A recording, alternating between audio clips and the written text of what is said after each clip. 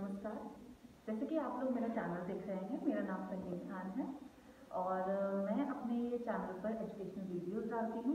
तो आज का जो हमारा टॉपिक है, वो है पाप्समेयर पाप्समेयर एक टेस्ट है जो कि जनरली गैनकोलॉजी में या फिर ऑब्स्ट्रैक्टिस में फीमेल्स के लिए किया जाता है। काफ़ी सारी चीज़ें इससे पता चलती हैं कि फीमेल को कैंसर है या नहीं है बेनाइन है मेलिग्नेंट है। तो हम इस चीज़ से काफ़ी सारी चीज़ें पता कर सकते हैं। सबसे पहले ये टेस्ट मैं आपको बताऊँगी कि इस टेस्ट टेस्ट को करते कैसे हैं? लेकिन इस टेस्ट के बारे में आपको खुद पहले थोड़ा नॉलेज होनी चाहिए कि ये टेस्ट क्या होता है किस लिए करा जाता है, क्या इंडिकेशन है और क्या कॉन्ट्रा इंडिकेशन है। तो चलिए देखते हैं कि इस टेस्ट को हम फीमेल पे कैसे करें। सबसे पहले आपको क्या करना है? जो भी आपका पेशेंट है, उसको आप टेस्ट के बारे में बताना है कि ये चीज़ क्या है। तो नमस्कार लता जी। मेरा नाम फरदीन है और अभी हम आपके एक पैप्समेयर नाम का टेस्ट है। नीचे से जाँच लेंगे आपकी तो थोड़ी आपको दिक्कत, परेशानी महसूस होगी। तो घबराना नहीं है, बस आप ज़रा सा वक्त लगेगा और बिल्कुल ये टेस्ट हो जाएगा। उसके बाद जैसे ही आप अपने पेशेंट को बताते हैं कि आप उसका क्या करना चाहते हैं या फिर क्या प्रोसीजर है इस प्रोसीजर की डिटेल बताएँगे, आपको इंश्योर करना है कि पेशेंट का जो ब्लैडर है वो खाली हो। पेशेंट को कह सकते हैं कि आप टॉयलेट जाइए और वॉशरूम करके आइए और उसको कंफर्टेबल पोजीशन में बिठा, बिठाना है और लिथॉटमी पोजीशन देनी है, जैसे कि मैंने अभी अपने पेशेंट को प्रोवाइड करवा रखी है पहले से तो चलिए, अब मैं आपको बताऊँगी कि पैप्समेयर करने के लिए सबसे पहले आपको क्या क्या आर्टिकल्स की ज़रूरत है। तो ये सब है हमारी ट्रे में। हमारी ट्रे में आपको क्या क्या दिख रहा है? ये है आपका kidney tray kidney tray discard करने के लिए होती है। ये हमारा एक बॉल जिसके अंदर गॉस पीस और हमारे कॉटन है। ये हमारी आर्टरी फोर्सअप है जिससे हम होल्ड करेंगे। गॉस पीसेस को और क्लीन करने में हेल्प करेगा ये।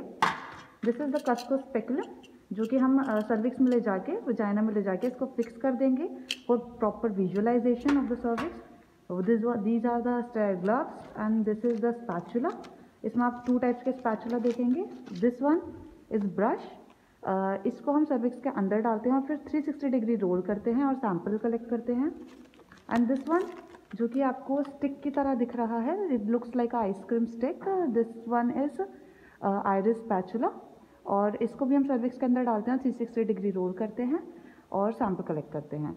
और एक चीज़ इसमें मिसिंग है दैट इज़ अ स्लाइड तो जैसे ही हम कलेक्ट uh, करते हैं स्पेसिमन और हम स्लाइड पे उसको इस तरीके से फैला देते हैं और सैंपल को लेबोरेटरी में सेंड करते हैं। अ, जो प्रोसीजर है उसमें आपने क्या करा? सबसे पहले मैंने अपनी पेशेंट को ब्रीफ करा, अपने बारे में बताया प्रोसीजर के बारे में बताया और फिर उसको कंफर्टेबल प्रिवेसी प्रोवाइड करी। आर्टिकल्स चेक करें कि ऑल आर्टिकल्स मेरे पास प्रेजेंट है या नहीं है। Then I have to do the hand washing और मैंने ग्लव्स डन कर लिए हैं। इसके बाद आपको क्या करना है? For proper visualisation Cusco speculum लेना है। यहाँ पर आप जेली जेली लगा सकते हैं। यहाँ पर आप जेली लगा सकते हैं बट आपको क्या याद रखना है कि जेली आप कभी भी टिप पर ना लगाएँ बिकॉज़ अगर टिप पर आप जेली लगाएँगे तो ये पाप्समेयर के टेस्ट को ऑल्टर कर सकता है। तो ऑलवेज रिमेंबर कि जब आप जेली लगा रहे हो, वो साइड्स पे लगाओ टिप पर नहीं लगाना है आपको। ये मेरा स्पेकुलम मैंने लिया है एंड यहाँ पर जेली अप्लाई करने के बाद साइड पोजिशन में डाला है एंड देन स्ट्रेट और फिर इसके बाद इसको आप यहाँ से घुमा घुमा के आप ओपन करेंगे एंड फिक्स कर लेंगे। तो इस तरीके से आपका स्पेकुलम बिल्कुल फिक्स हो गया है। इसके बाद नेक्स्ट आपको क्या करना है? अब नेक्स्ट स्टेप में आपको अपना आयरिस स्पैचुला लेना है और इसको अंदर इंट्रोड्यूस करना है और सर्विक्स आपको विजुअलाइज होनी चाहिए सर्विक्स आपको अंदर डालना है और अंदर डालने के बाद इसको 360 डिग्री रोटेट करना है। 360 डिग्री रोटेट करने के बाद आप इसको बाहर निकालोगे।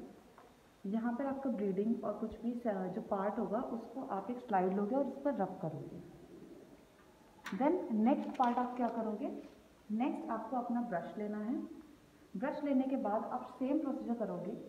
अंदर डालोगे सर्विक्स विजुअलाइज कर लोगे और 360 डिग्री इसको घुमाओगे।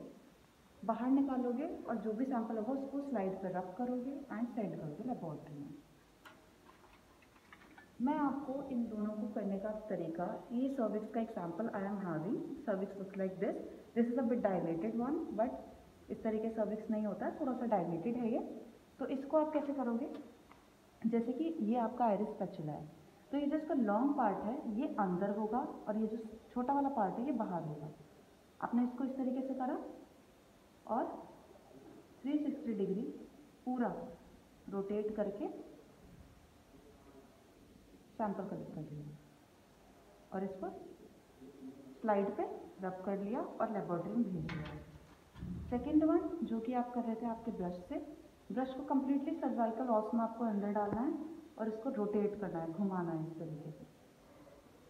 और जो भी इसका, इस पर मटीरियल होगा, उसको स्लाइड पर रब करना है और सैंपल के लिए भेजना है।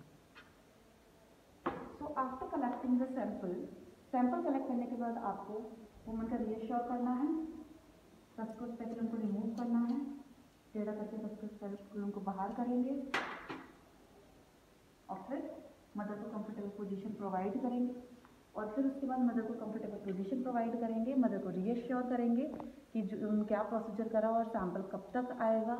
और फिर सारे आर्टिकल डिस्पोज करेंगे एंड देन डॉक्यूमेंटेशन करेंगे। सो आई होप आपको मेरा जो प्रोसीजर मैंने किया है वो आपको पसंद आया होगा। So please do like share comment and subscribe my channel and thank you so much